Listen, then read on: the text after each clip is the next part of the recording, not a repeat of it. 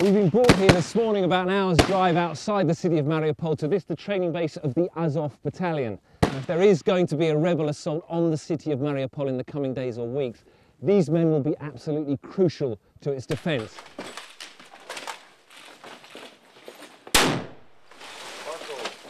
The Azov Battalion and several others uh, began to be raised last year after the rebellion here in the east of Ukraine, the pro-Russian rebellion began. And this group, the Azov, is known to be one of the most effective and feared of those volunteer groups. Контакт на 12!